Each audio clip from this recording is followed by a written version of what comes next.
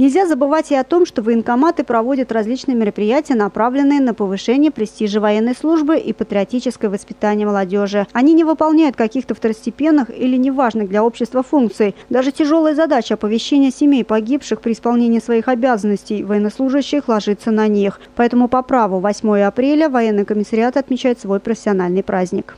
Последние четыре с лишним года мы работаем уже как гражданские и не военные, и как не военный комиссариат, а как отдел. Я имею в виду в районах. Но тем, но тем не менее мы выполняем поставленные задачи, которые на нас возложены. Вопросы, связанные с мобилизацией, с призывом граждан на военную службу, с учетом, с пенсионным обеспечением, ну и, и ведение различной административно-хозяйственной деятельности. Ну, не кривя душой скажу честно, что на сегодняшний день наш отдел является одним из лучших.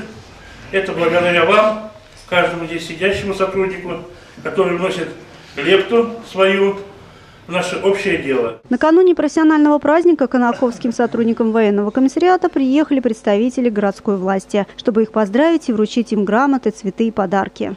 96 лет, но все молодые, симпатичные, Э, конечно, я не думаю, что те реорганизации и организации, которые происходили с военным комиссариатом, э, привели работу с молодежью, которая идет в армию, в лучшую сторону.